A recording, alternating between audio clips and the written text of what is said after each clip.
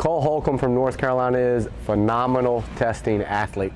Um, he's going to be over 230 pounds and probably put up numbers that are better than any linebacker pretty much that can be ranked in the history of combine testing numbers. Yep, that's a wrap. Pro Day's done. Thanks everybody for, for watching me on my draft process. Thanks Christina. Thanks Tony.